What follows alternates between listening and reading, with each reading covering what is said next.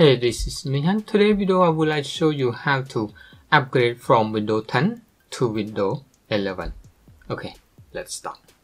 Okay, to update your Windows 10 to Windows 11, you may need to check the window, window requirement for upgrade, whether you free upgrade or not. Check link in description. Okay, I know my PC is ready for upgrade, but here we cannot, we don't have any really update from Microsoft yet. We update through Windows Insider program. Let me show you. Okay, just search update or window update. Okay, go to check update. Currently, there no option to update to Windows 11. Even my PC is for free update.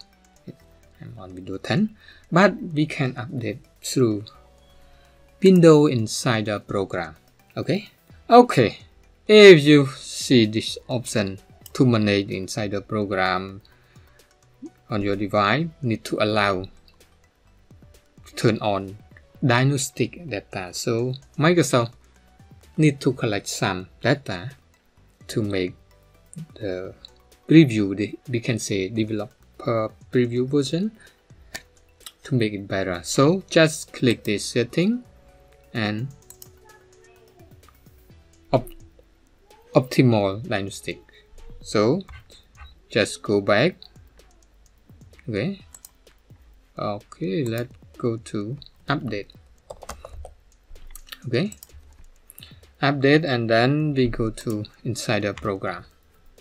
So in here I have register. You may need to register with Microsoft account to get start let's check get start and it asks me to join. You can register with Microsoft account or you can just switch.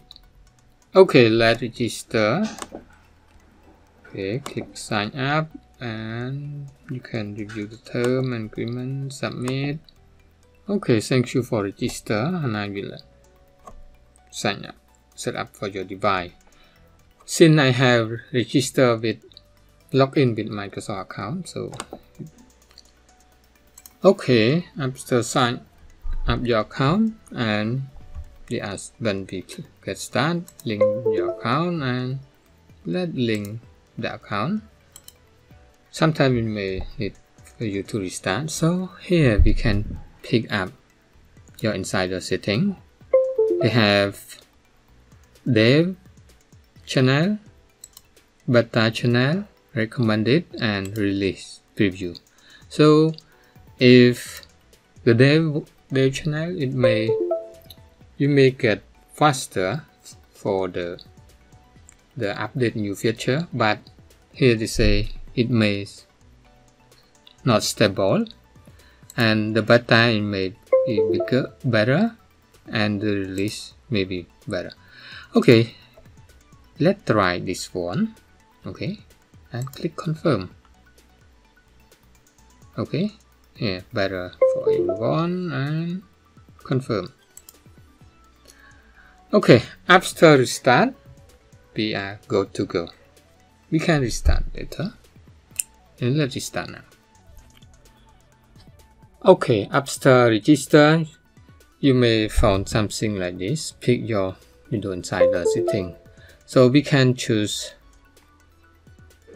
different three options here later on we can we can change it.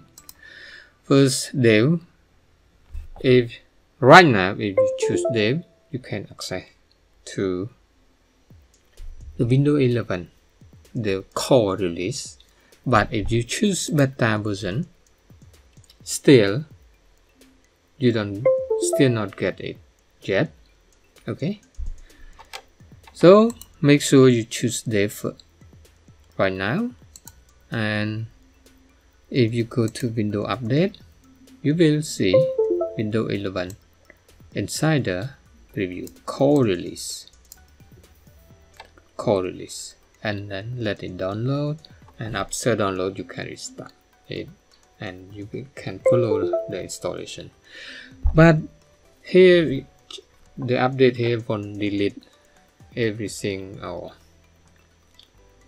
your data or program but make sure you read the instruction carefully. And one more thing if you don't pull the, the window element inside the preview you may go to other option advanced option and check receive update other update from Microsoft. That would be thing. Okay if you have any question let me know in the comment okay please enjoy your video element. Thank you for watching. See you in the video